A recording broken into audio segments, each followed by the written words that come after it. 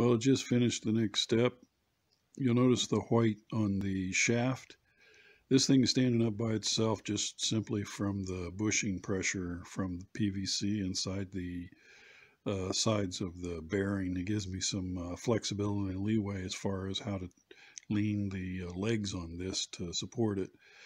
You know, I'll get a little bit closer and um, a couple things I want to change on it, but uh, I'm not going to do that right now. I'll wait until the end and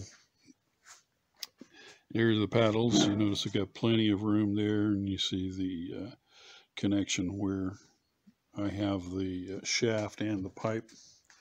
This is the pipe adapter on the end for the swivel connection. Fits perfectly. The uh, shafting goes through, it's equal on both sides.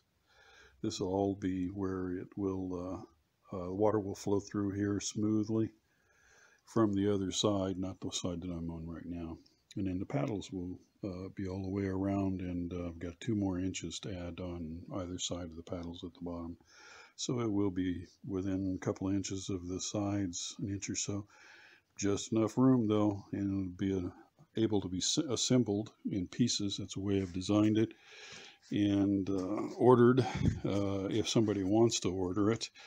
I was thinking about changing the uh, restraints for the pipe on the side instead of the wood. I need to go a little bit lighter. I'd like to make it as light as possible. I can handle it myself, but so I was thinking about PVC and I was going to use the wire ties to uh, hold it down in place and at the very end use a, uh, a bolt and uh, pipe uh, set up so that it can be uh, uh, anchored down on the ends. I think it'd be uh, lighter and it'll give me a tube to transfer some lighting wiring or whatever through it. And then on the end, it'll give me something to put an LED light in or something that so when it turns, it's enclosed and not getting wet.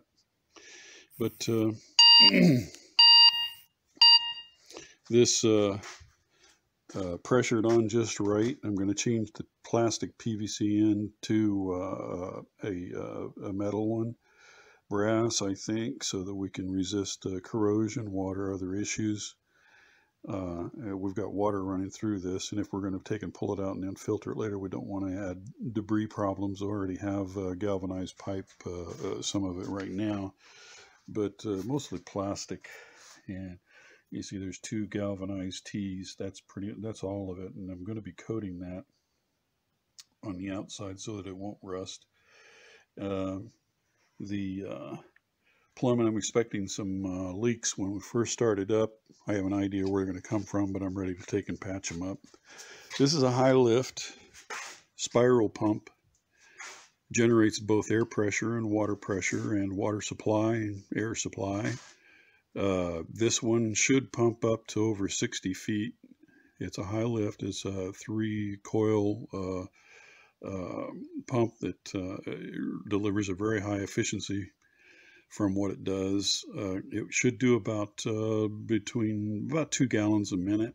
Depends on the speed of the turning and such.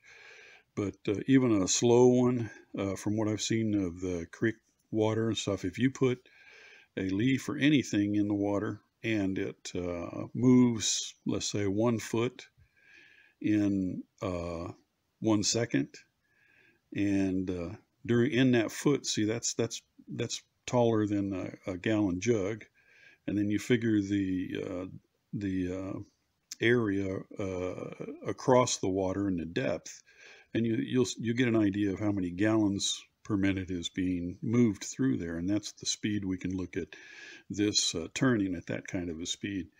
So uh, things can be calculated. This should pump uh, exactly like the way I want it. And I've added a few engineering features in it from other uh, pumps and stuff. And uh, I'm getting closer to being done.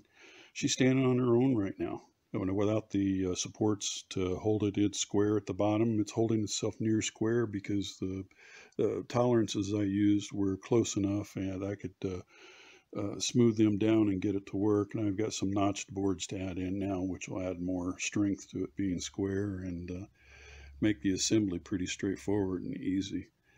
Well, thank you very much for watching. Like, subscribe, whatever. Thanks.